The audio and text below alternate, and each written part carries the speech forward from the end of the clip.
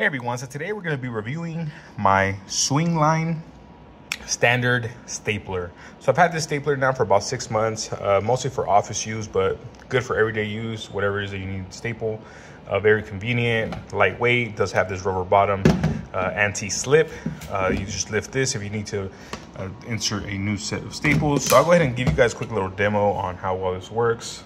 Um, so I'll go ahead and show you guys. I have two envelopes here I'll just go ahead and you don't got to put a lot of pressure. You just like so. And as you guys can see, staples through very well. So if you are looking for a stapler that's efficient, cost effective, give this one a try. We highly recommend it.